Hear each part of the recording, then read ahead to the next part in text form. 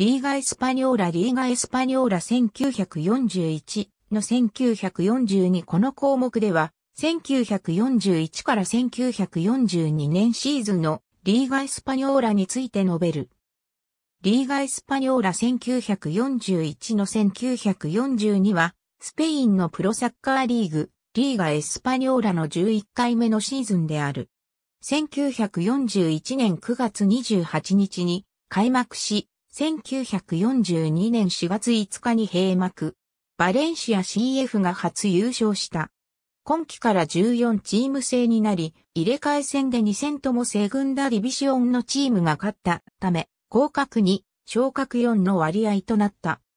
バレンシア CFR マドリード A、アビアシオンデポルセルタセビージャ CFA ビルバオ、カステリオンエスパニョールグラナダ CF、オビエドバルセロナアリカンテ CDR、ソシエダリーガエスパニョーラ1941-1942のクラブチーム所在地に連覇中のアトレティコアビアシオンが快調なスタートを切り、第3節で首位に立つと、これを第8節前まで保持した。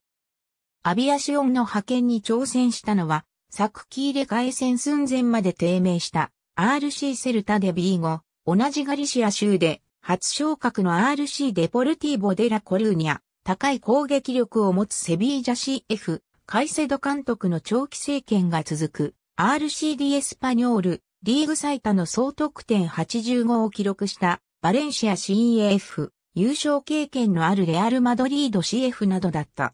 セルタが打ち合いを挑む大味なサッカーで5位に進出したのに対し、彼らを上回る4位に入ったデポルは守備力に強みを発揮。リーグ最小の36失点を記録し、GK フアン・ヤクーニャは一部初挑戦で、いきなり最小失点率を達成。地味ながら、ロースコアの試合で勝ち点を稼ぎ早期に、残留争いを回避した。各々特徴あるサッカーを展開しつつも、大型連勝ができず、毎週2位が入れ替わりアビアシオンの首位キープは後半戦に入っても続いた。バレンシア CF が初優勝を決めた20世紀前半のメスタージャ。そして2位集団から抜け出したのはバレンシア CF だった。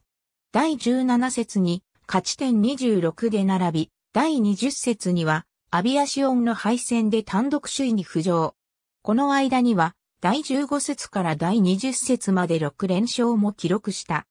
その後バレンシアは第21節に11オビエドと引き分けるが、アビアシオンも第22節に下位に低迷する CF バルセロナに0の5で大敗し、順位は変わらなかった。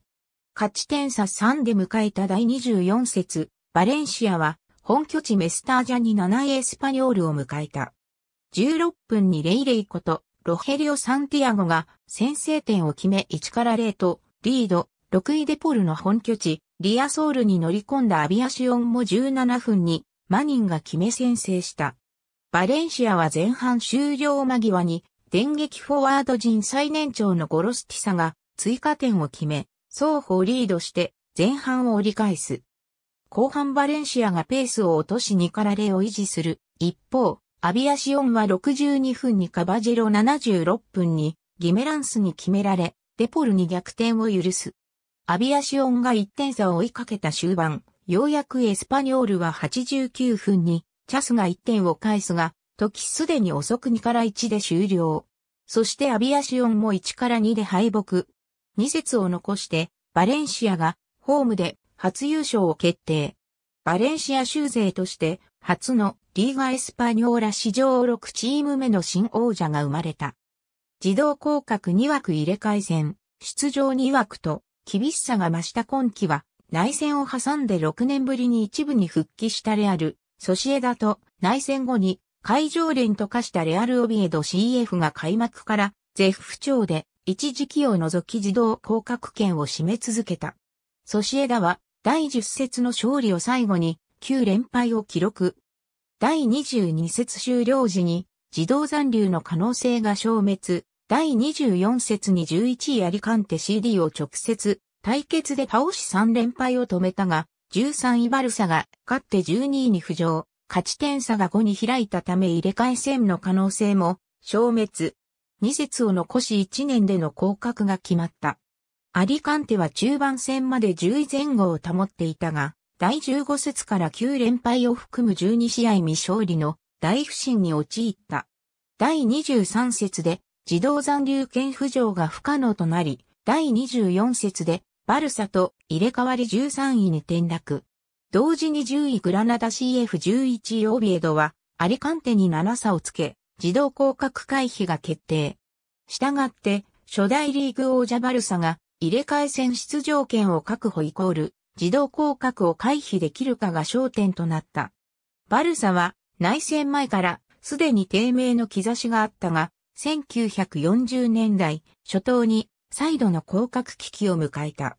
今季はバルセロナダービーとアールマドリー戦で全敗を喫し、開幕から5連敗を含む6試合未勝利、第13節から今季2度目の5連敗を含む6試合未勝利で13位に定着。第20節には昇格組グラナダに敵地で0の6と大敗し、12位と勝ち点差3がついた。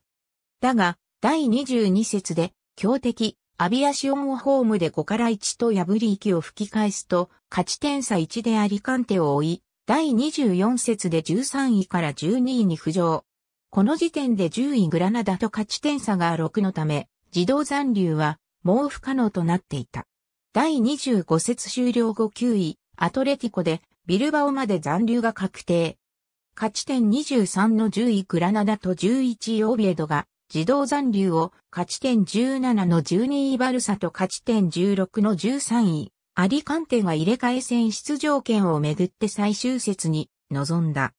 グラナダはホームで消化試合状態のエスパニョールをこから0で大破し自動残留を決め、オビエドは敵地でデポルに0の1で敗れ、11位での入れ替え戦行きが決まった。